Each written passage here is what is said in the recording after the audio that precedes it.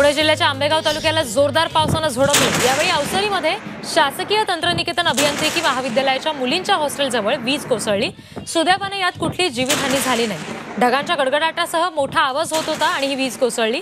हा चित्तथरारक प्रसंग मोबाईल कॅमेऱ्यात चित्रित करण्यात आलाय आणि त्याचा हा एक्सक्लुझिव्ह व्हिडिओ आपण झी चोवीस तासवर पाहत आहोत.